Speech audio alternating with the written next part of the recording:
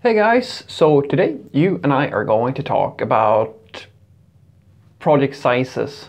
So let's get into it. So the question in question today is basically, Fredrik, do you think it's better to try out make uh, to try out to make quite a few small projects or should you invest your time in building larger projects for learning purposes? And I think this is a pretty good question. The thing is that it's a little bit of both, I would say. Um, mostly because the thing, like, let's just think about this. So, when you start out with a small project, one of the benefits that you get is that you start from scratch usually. You start out by building everything from the ground up. Now this is very useful because if you don't do this sort of thing, you may lose out on information and like experience when it comes to actually just setting things up. And I know for a fact that there are quite a lot of developers.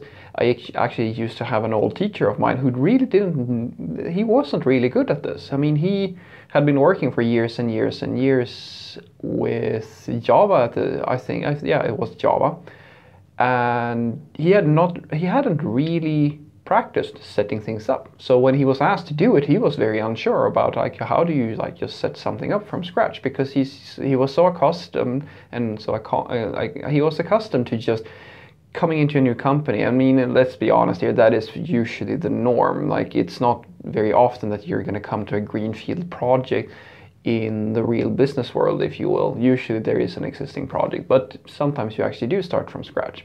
But I think that this is, it's very useful to do this sort of thing eh, when you're learning like a, a new concept or something like that, when you just want to try something new out, this is absolutely the way to go. But I will also argue that it should not be the focus as much. Uh, as I said, it, if, if you're learning something fresh, if you've never done something before or something like that, this is perfect.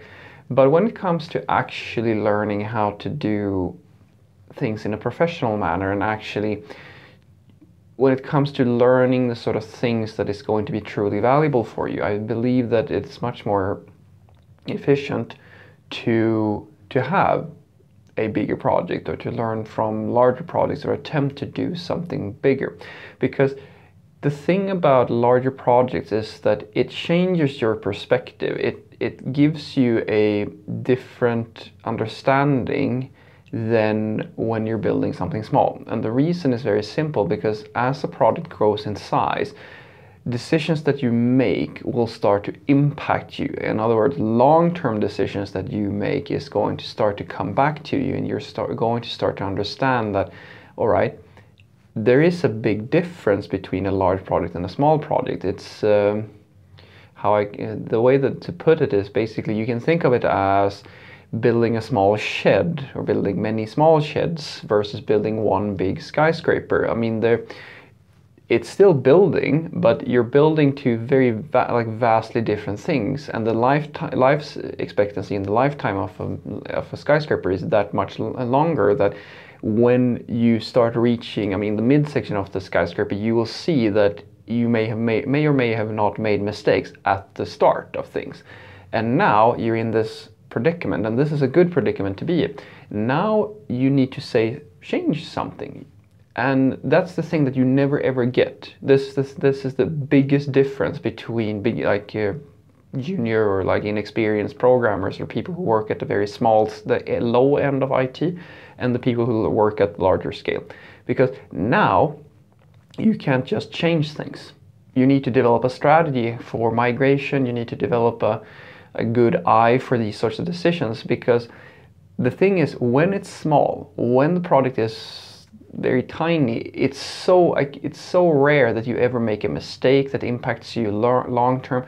It's so easy to add in tooling. It's so easy to do all these things, right? But when you get up to large scale, you can't just rewrite the whole system just because you feel like it. You can do that when the project is small, and that's the thing you're after. That's the thing that it makes you a true professional because when you get up to a size of project where the decisions that you make have a long spanning effect and you see the impact and you actually feel that impact not just by yourself but you have maybe many people working with you and stuff like that like that's when you really start to connect the dots and you start to realize why these veteran programmers are so emphatic about good practices, coding quality, testing, and all of that stuff. Because it's at that size it actually matters. It doesn't, it almost never matters at a small scale.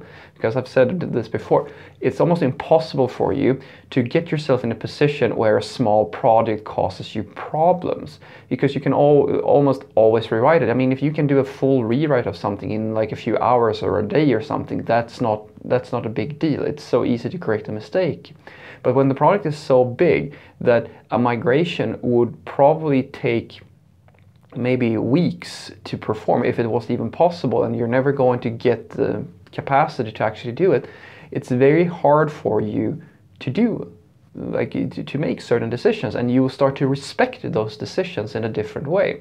And the beautiful part about it is that it gives you a perspective not only on how to build a skyscraper, but also how to build uh, build a shed. You start to you really start to notice the differences between when a certain line of thinking is better than another line of thinking. So what I want you to take away from this is that I will argue that the best thing for you is to make small projects absolutely if you're learning something from scratch but don't make that the, ex the exclusive thing because what your focus should be if you're you're interested in becoming a full-fledged professional and that's why I say that you know working as a professional working in the real workforce can you can never replace that by self by learning by yourself. You will never ever get to be as good as you can be by just working as an independent software developer. It's never going to happen.